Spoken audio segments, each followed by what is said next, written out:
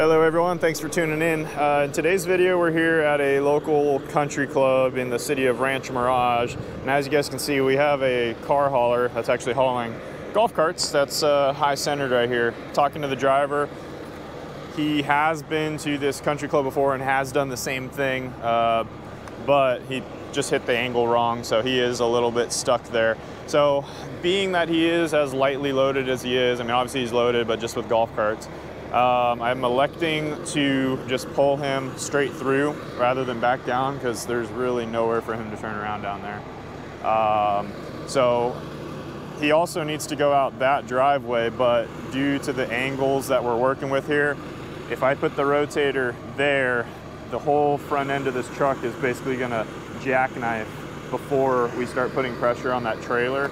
So I don't, if we do that, I believe that he will no longer have the proper angle to make this turn and then we're gonna have another set of problems. So I think what we're gonna do here is I set up the rotator over there. We're gonna pull the tractor that way, get him going up that driveway, and then from there, we should be able to back him up over into there, get the trailer going that way, and pull him out either one of these driveways. So I think that's the move here. Um, yeah, we'll see what happens. These car haulers are all built with skid plates on the bottom because they sit so low. So it is, you know, basically designed to take some sort of sliding. Uh, and then also we, as you guys can see, it's wet. It's been raining all day. So we shouldn't have any problems sliding this. Uh, it should slide pretty easy with the, uh, the wet ground and the skid plate there. So first order of business, I'm gonna set out some cones right here so no one comes careening through here and decapitates himself with a cable and we'll get to work.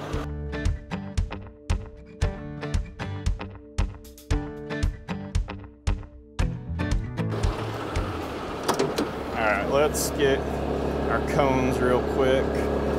So, may seem stupid to put uh, cones out, but people on their phones these days not paying attention, they will drive right through your job site, potentially right into your cable. Okay, we're gonna go ahead and use this red strap here and two shackles.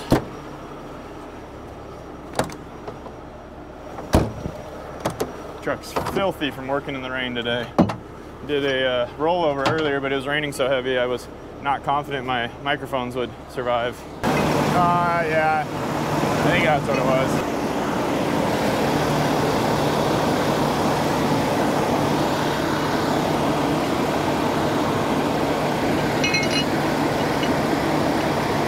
Yeah, I'll probably have you just put it in drive, but no, uh, don't like spin the tires, just let it idle. I'll stand right next to you, I got my remote. Yeah, go ahead and steer to the left a bit. That looks good. Okay, are you in uh, drive? Okay, do you have a differential lock? Does it like, yeah, it's locked? Okay. Yeah, don't, no throttle for now. Let's just let it idle, but leave it in drive. See if we can pull you through. Go ahead and turn left a bit more. Okay.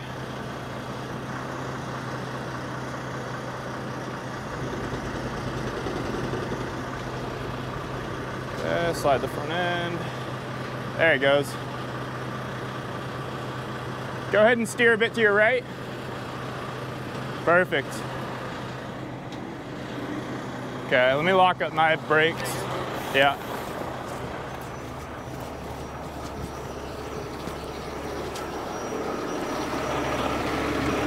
All right, I'm gonna engage the winch brake. That locks up the uh, service brakes on the front axle.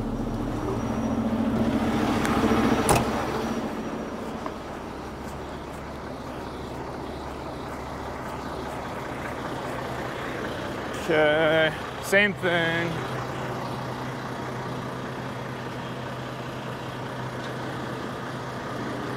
A little bit to the left.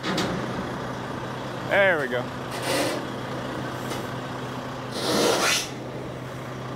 It's going.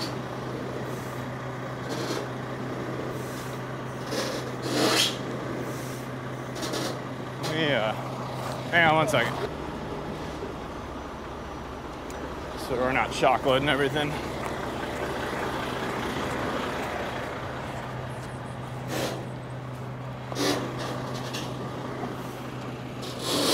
So you can see the whole back tires in the air right there.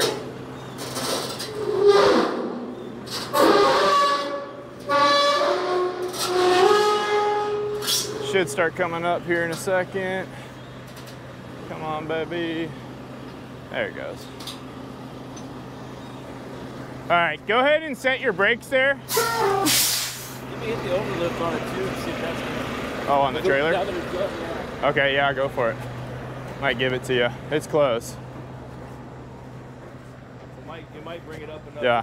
clear. It's close. I'd say if it if not, a couple more feet. So I'll pull forward if not. Well, I turned it on when I got, you know, when it got stuck, right? and it was already up, Uh huh. up enough that the tires were just about off the ground. Right, it just right, barely, right. uh, like it's- Yeah, it might. Um, here, I will.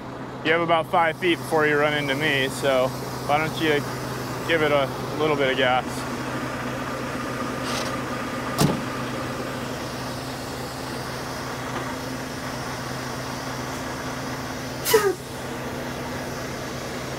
Yeah, you're good. Go ahead and uh, set your brakes there.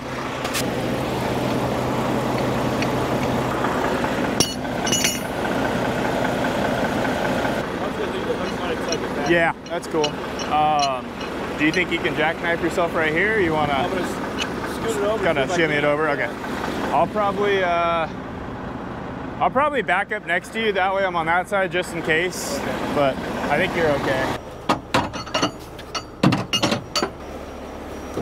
This is my dedicated winching strap. They say that you shouldn't lift, use uh, straps for lifting and winching because the forces that you subject a strap to in winching is unknown.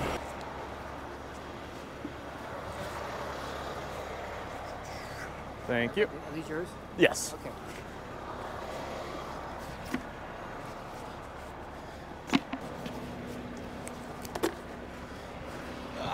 Okay.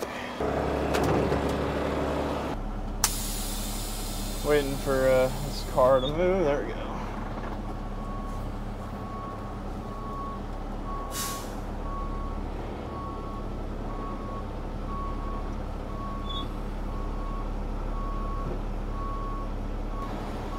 So, a lesson I learned a long time ago was always think ahead and position yourself so that you don't get yourself basically stuck behind the truck that you just pulled out or the job that you're doing, especially in soft sand conditions.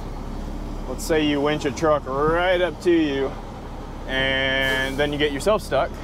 Then, because you tried to go forward, now you can't even go back because the truck's right behind you. So that's why I'm positioning myself on this side just in case he, he starts to spin or has a problem here. I'm here to uh, assist. I, I think it'll be okay though. He looks he looks plenty good.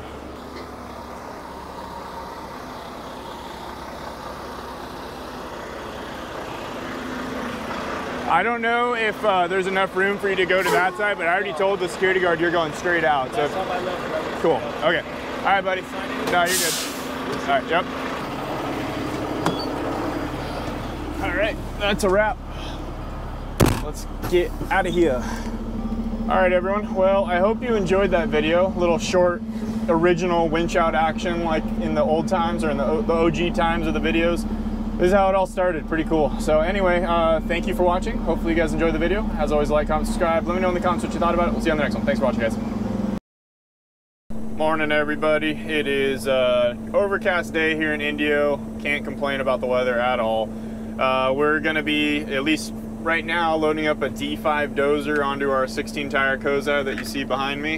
Um, yeah, D5 dozer with slope boards. We're gonna be taking it out to a customer that uh, rented the machine. So the trailer is spread out to 10 feet wide, and from here to the place that we're going, the Caterpillar dealer, there's not enough, uh, I guess, distance to travel for those axles to collapse. So I'm just going to leave them out. It's going to be an oversized load anyway, um, so I'm not too worried about it. Just a local move. But yeah, normally the weight of this D5 dozer would not require us to be 10 feet wide, but we're set like that already. So no biggie. Let's go ahead and head over there and uh, get our machine loaded, and I'll show you how we load the dozer over the back. That'll be fun. All right.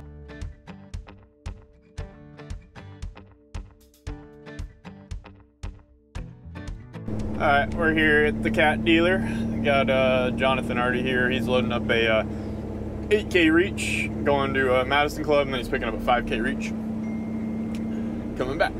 All right, guys, they are uh, still washing the machine over there. So in the meantime, I'm just gonna throw our chains out, get everything prepped here.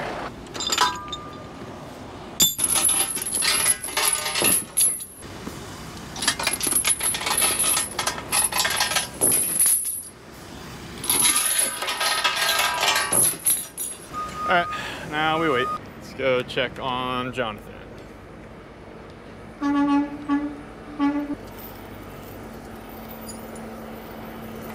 Nice. I'm gonna have to grab a cat key to leave with the customer. But anyway, let's go ahead and uh, start this girl up.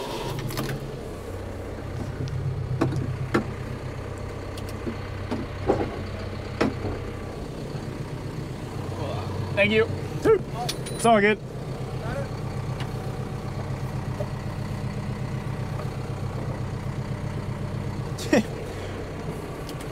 Back there somewhere.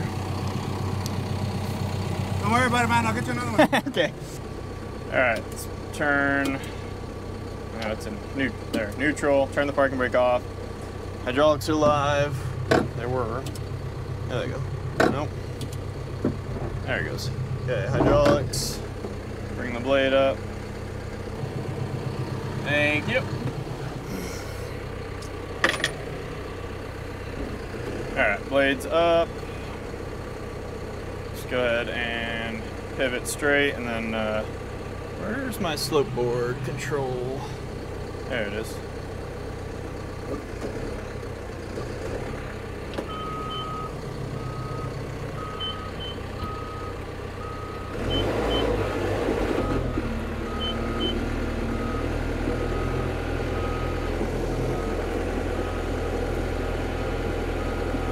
All right, so basically what's gonna happen here is I'm going to uh, drive it right up to the back of the uh, out here. I'm gonna use the blade to lift myself up. I'm gonna track forward, basically start climbing up. We're gonna look like we're gonna tip backwards. But then as we do that, I'm gonna use the ripper to pop the back end up. And that'll kind of crest us over. And uh, we should be sitting pretty on top of the trailer there. Really the key here is just make sure you're straight. And just try to do it all in one fluid motion because what you can do is get hung up on the trailer and then the tracks just spin uh, instead of actually moving you somewhere and then you do have the potential to like basically skin the top of the tires if you're not careful. So I really do enjoy loading these cat machines over the back, at least the newer ones, because you, you can dial the speed way back. Whereas on the older ones or some other machines, you can't, you don't really have as fine control over the speed. Right now I'm just strictly using the center of the machine to try to line myself up until I see the trailer here. Haven't seen it yet. Visibility out of the cat machine's pretty good too compared to some other machines.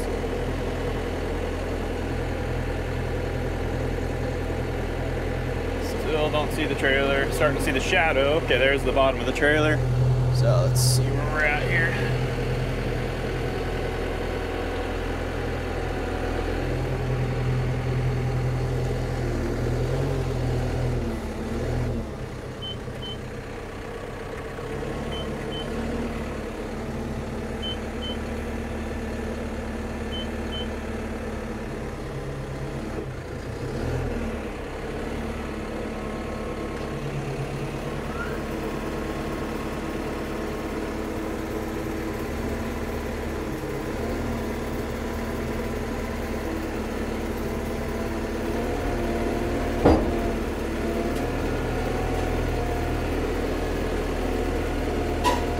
Okay, there we go. I actually didn't even need to use the uh, ripper. I'm gonna dial the speed like way back, but idle high. Okay, we're gonna keep going. I'm just using the references here. I'm gonna keep tracking.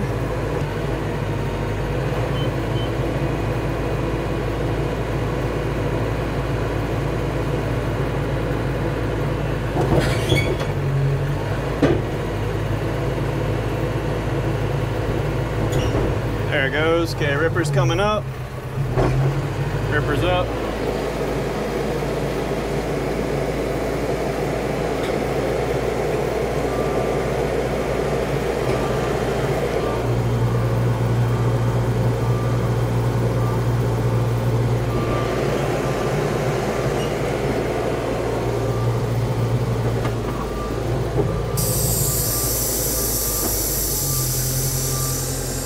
Was an interesting noise.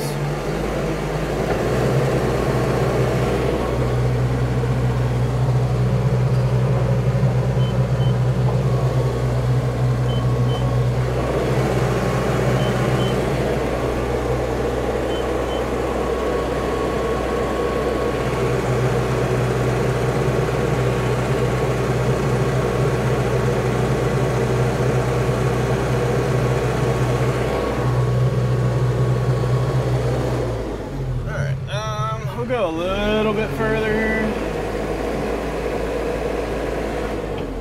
Okay, and then uh, let's see if we can cheat the blade one way or another here. Get it close to the ground here. Yeah, I think I'm just gonna leave it straight. Uh, the trailer's 10 foot wide in the back anyway, so there's not really any reason to cheat it. But what you can do is you can pivot the blade one way and then kind of cockeye the machine a little bit to bring your width down a little bit, but nothing crazy. All right, turn it off. All right, guys, we're all loaded, chained up, ready to go. Got four chains all the way around and we are secured to the tracks. If you don't like that, comment and I will laugh at you. Chains are, are on the tracks are acceptable here in California at least. So, all right, let's roll. Got got about a mile drive.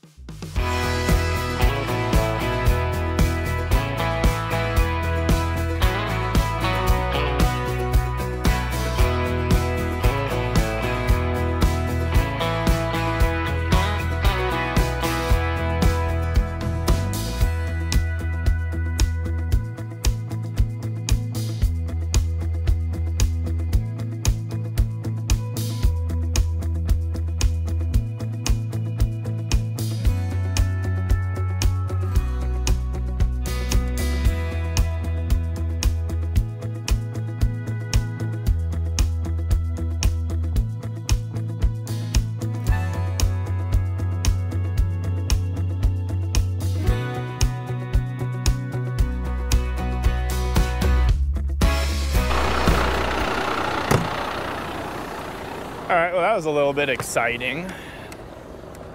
There was uh, quite the terrain we had to traverse there.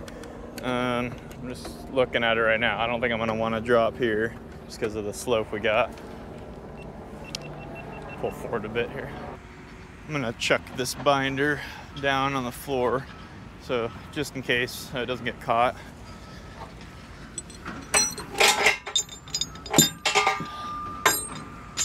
All right, let's offload. All right, I'm up in the machine, guys. We're gonna go ahead and start her up.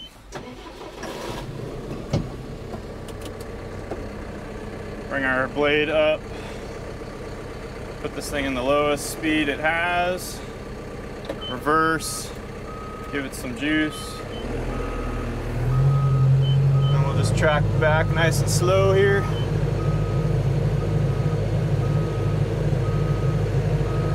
Pretty much straight, so I'm not gonna do really much left to right here. Maybe just a kick to the driver. There we go. I also got the trailer spread out to 10 feet, so we got a lot of wiggle room, for lack of better terms.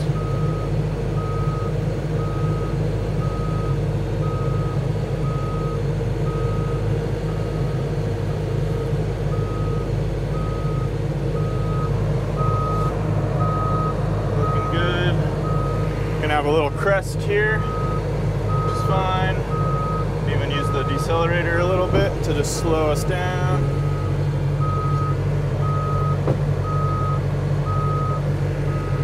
There's the crest. Cut. Keep it going. Start bringing that ripper down to catch our fall, essentially.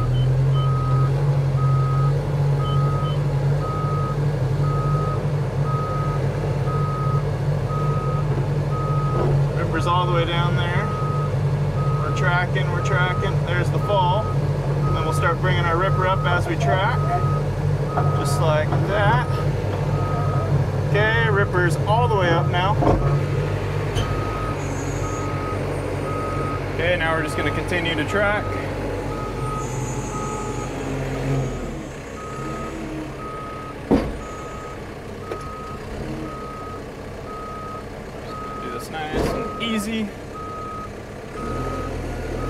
And we're on the ground. And I guess we'll put it over here next to this other one.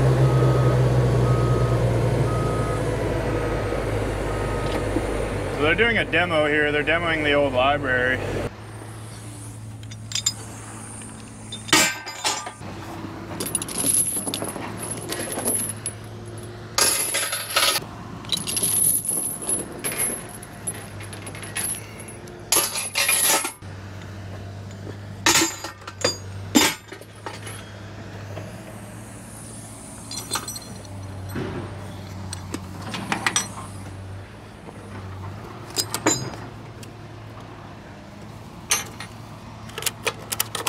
All right, there we go. That's a wrap. So while we're here, show you guys something. See that cactus structure right there? Maybe Sophie can add some uh, overlay of video or pictures of us moving that, but we actually transported that on this trailer and then lifted it in place with the rotator. It's about uh, 20 feet tall and we had to go through the streets of Indio here. So that was pretty fun. Unfortunately, I did not video that. Um, but yeah, pretty cool structure. So, all right, that's it for that. Let's go ahead and uh, head back to the yard and see what else is happening.